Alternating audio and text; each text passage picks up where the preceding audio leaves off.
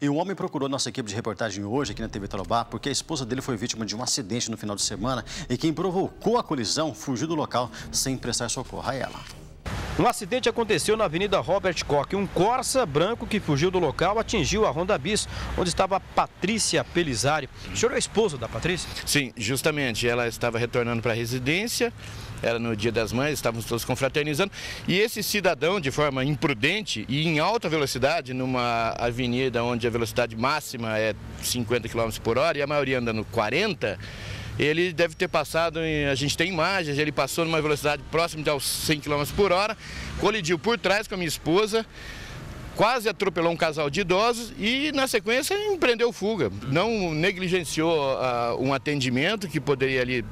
Enfim, é, a gente fica indignado porque um cidadão desse, ele pode daqui a pouco atropelar uma criança, ele pode atropelar um idoso e ele vai continuar na rua. E nós estamos tentando pedir encarecidamente para quem conhecer ou ver um Corsinha branco hatch nessa imediação aí da Robert Koch. Tá no final ele, da Robert Koch. Final da Robert Koch. Ele está com o retrovisor quebrado, está aqui o retrovisor dele, ele está sem o retrovisor do lado direito, sem a, a, a guarniçãozinha do para-choque dianteiro direito.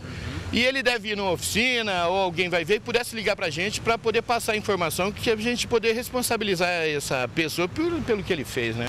E alguém precisa ligar, nosso telefone é 99440014.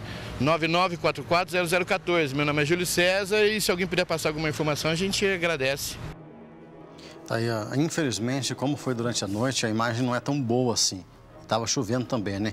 Mas se você, de repente, tem alguma oficina e o, e o cidadão for lá com corsinha branca, hatch, com retrovisor quebrado e também com esse suporte aqui quebrado, entre em contato com ele, tá? Ele quer que o cidadão seja responsabilizado pela imprudência que ele cometeu, né, no final de semana, atropelou uma pessoa e fugiu do local sem prestar socorro.